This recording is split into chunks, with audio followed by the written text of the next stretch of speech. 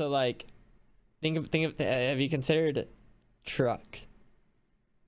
Yeah, Yeah. like a like a truck. Yeah. Yeah. Yeah, like like a F one fifty. yeah. Yeah. Yeah, I have considered a truck.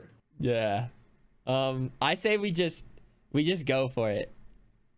Yeah, you want to go halvesies on a truck? Yeah, yeah, yeah. We got halvesies. We can we can we can split it on the weekends or whatever, and like um, I don't know, just kind of truck around. I Yeah, do keep think- on trucking. Yeah. Yeah, I, I think for the most part, like having a truck would probably be inconvenient, but um, It is pretty big and bulky, but yeah, and like and then like I'd have to learn how to like park it and like like all that, Yeah. you know. Um, I've never driven like a big vehicle before. um,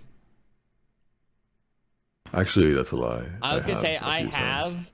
but not like not to a point where it'd be like like a hassle where I'm constantly doing it and like, um, yeah, it's just it's just I don't know.